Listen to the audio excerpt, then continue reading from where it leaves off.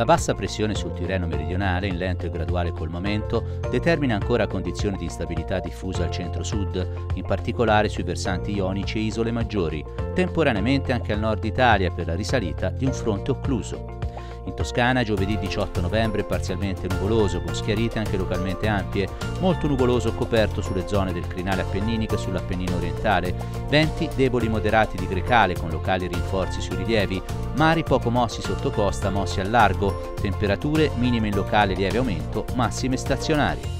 Sul territorio provinciale da poco nuvoloso fino a sereno, a Lucca e sulla Piana temperatura minima 7, massima 17 gradi, in Valle del Serchio zone montane minima 6, massima 17, a Viareggio sul litorale minima 9, massima 18 gradi. Venerdì sereno poco nuvoloso, temperature in ulteriore calo.